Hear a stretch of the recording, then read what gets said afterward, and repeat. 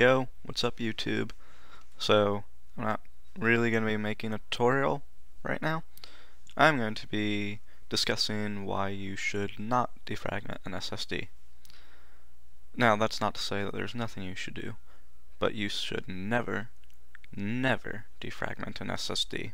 If you have an older operating system, like say XP, and you, for whatever reason, are still using it, and you have an SSD in there, do not use Windows to defragment it. Because an SSD is fundamentally different than a hard drive. A hard drive has a spinning disk, a needle, and when data gets deleted and moved and put in different places, it requires more distance for the needle to travel, different places. Think of saved game files.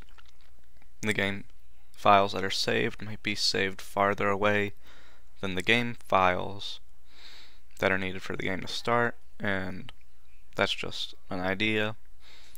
Different documents, yeah, okay. But an SSD doesn't have a magnetic disk and a needle. It has flash storage. But this flash storage has a lifespan and if he were to defragment it, it would use up many of the cycles in a very small amount of time, which would lead to fundamentally killing it. Alright, so you should not defragment an SSD, but you should trim an SSD. Alright, so first, this is Windows 10 obviously. Let's go to defragment. Alright, I have one solid state drive. Now, if I were to click Optimize,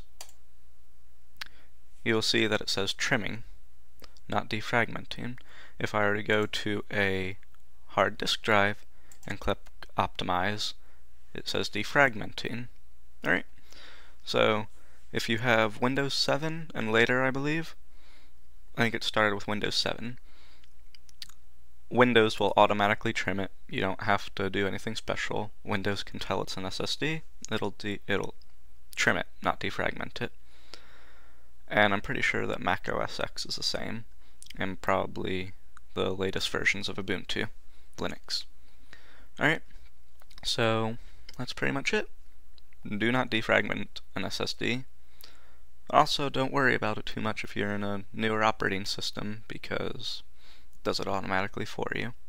Alright, if you learned something, like this video. If you didn't learn something, dislike this video.